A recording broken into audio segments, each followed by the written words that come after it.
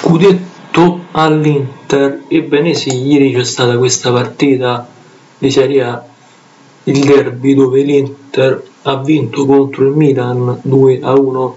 un derby fondamentale per l'Inter, già prima in classifica insieme al Milan. Se l'Inter avesse perso il campionato, secondo me era ancora aperto, ma siccome ieri ha vinto contro il Milan, contro il Milan per l'appunto, l'Inter si trova ormai matematicamente parlando pronta per ricevere lo scudetto. Un epilogo davvero eccellente per la squadra nerazzurra per eccellenza, una stagione veramente eccellente, ottima per questa formazione calcistica che ha ottenuto dei risultati ampi, importanti, garantiti da un attacco eccellente, mi permetto di dire, da una difesa invalicabile e da un centrocampo di grande fascino, di grande bellezza. Risultati molto positivi, buoni per l'Inter,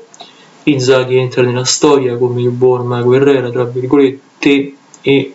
il valore aggiunto lo fa ovviamente l'assetto tattico, l'assetto di attacco, che di certo è un attacco di tutto rispetto, che non si perde d'animo, che non perde occasione di manifestarsi e manifestarsi anche bene. Ok, il video termina qua, iscrivetevi, commentate, ciao da Leandro, narratore italiano e componente all'Inter.